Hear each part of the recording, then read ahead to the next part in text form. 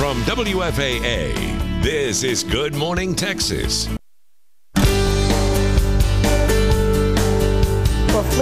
Season is almost here, but did you know that you ever even think about battling these bugs with beneficial bacteria?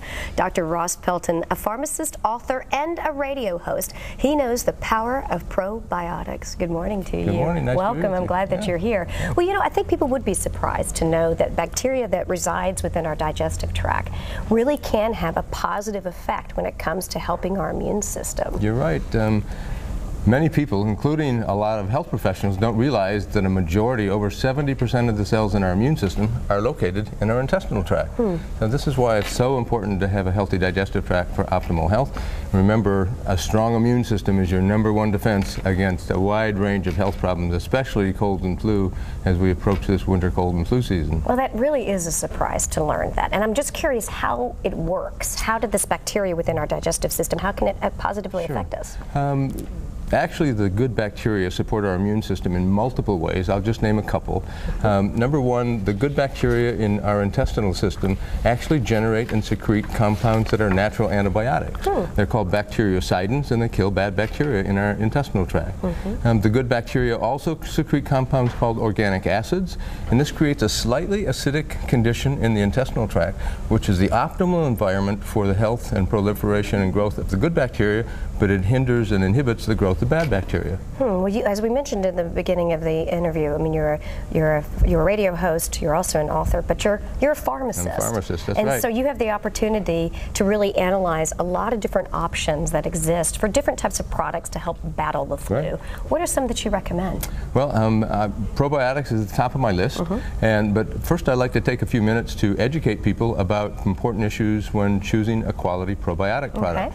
Um, quality is number one. Um, over and above the number of bacteria in the product, the quality of those bacteria is more important. Are they effective? Do they work? Oh. So here's some things to consider. Do the bacteria in the product survive the harsh acidity, the harsh acid environment in the stomach, so that they're still alive when they reach the small intestine? Mm-hmm. Also, can those bacteria in the probiotic adhere to the lining of the digestive system and stay in the body to mm-hmm. work rather than getting flushed out? Right. Third, is there good research on the probiotic that proves and documents that they, they work? And here's a really good point. Right. Live bacteria cultures are always going to be more effective than products that contain freeze-dried bacteria. And Really? the majority of products on the market are freeze-dried. Okay. And fifth, and here's a point I stress, yogurt and acidophilus milk really do not contain therapeutic levels of probiotics, and a lot of those products contain sugar, which is also harmful to the immune system. Well, that's a lot of information. It's a lot of information for a consumer to kind of digest, if you will, Right. and, and try to kind of keep and keep keep on track. So you have specific products that you recommend. Um, can you go over some of those? That's it. Well, I recommend Dr. Ohhira's because it has a unique blend of 12 different strains of beneficial bacteria, and they have a unique manufacturing process that also produces supplemental uh, products that are called prebiotics. These are organic acids, amino acids, uh, vitamins and minerals that really support and enhance and accelerate the activity and the benefits of the good bacteria in your digestive tract. So the five points that you went over today, and all the different things that the consumer needs to consider, you can. It's all being addressed. Dr. Ohhira's uh, really at- attains all of those critical issues for a quality probiotic. And Dr. Ohhira's is beneficial in treating common intestinal complaints like diarrhea and gas and bloating, and also more serious conditions like Crohn's disease, Right. colitis, irritable bowel syndrome.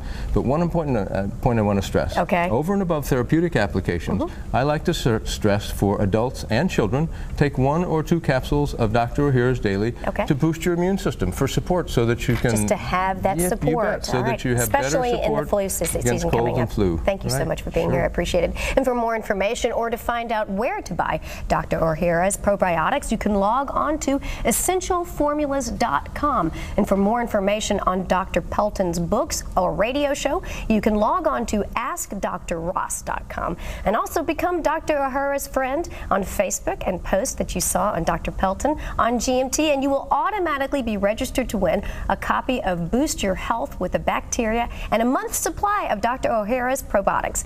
Now, that's also lots of different stuff that you can find out on by checking out that website. But for now, I'm going to turn it over to you, Amy.